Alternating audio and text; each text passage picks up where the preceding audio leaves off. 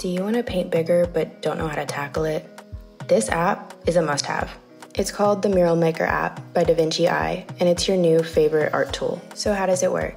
First, you're going to need two iOS devices. I like to use my iPad and my iPhone. First, pull down from the top right of your screen and turn off the Wi Fi. It should be white instead of blue. Then, open up the app in both devices. I use my iPhone as the camera app because iPhone cameras are way better than iPad cameras, and I use my iPad as a drawing device. They connect to each other seamlessly, and this is the image that I see on the iPad. Just like that, my sketch is perfectly laid out over my camera feed. Now I can easily trace my sketch onto the large surface. With the touch of a button, you can change the opacity and even use this cool strobe effect so that your sketch never gets in the way of your drawing. This tool has saved me so much time and energy.